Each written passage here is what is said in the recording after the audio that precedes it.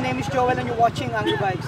Today's episode guys, we're blessed to have with us the CRF 250R. Uh, we're going to have a quick review here uh, on the racetrack itself. No? So let's go ahead with the specs of the, the motorbike. And by the way guys, if you like my videos, please do hit that like and subscribe button. So let's start with the review. CRF 250 guys has an inverted fork. It has a disc brake at the rear, single caliper piston. And in the front it has a dual caliper piston.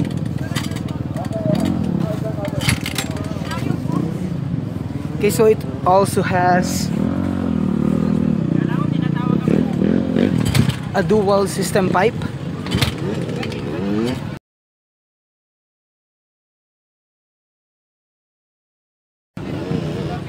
there's also a linkage. On a very nice uh, swing arm. So this is a 2018 model. Of the CRF 250 guys.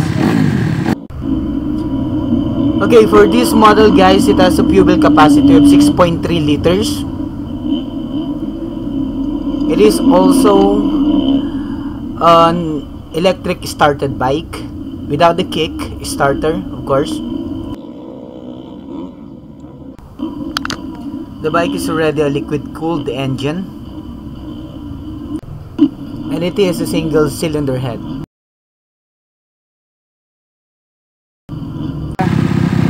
So in this particular uh, setup, they have 19 um,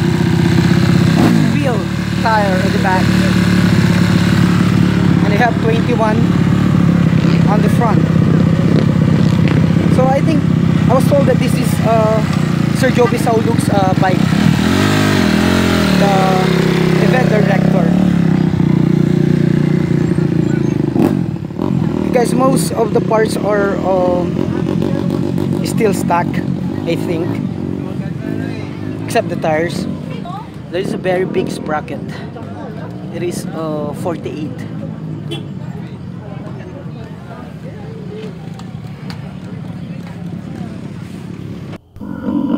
Oh yeah, by the way guys, it has a 5-speed transmission. The seat height is 957 millimeter. so I'm just taking this opportunity to make a quick review about the the bike itself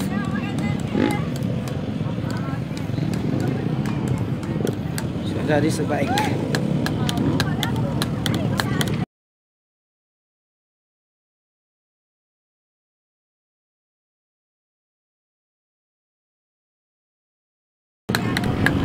So I think that will be all for the quick review of the CRF 250R 2018 model. And if I have might miss any specs that you guys might know, please do comment in the comment section below. Uh, I think that will be really helpful for those people who are eyeing to buy this uh, bike. So thank you for watching guys.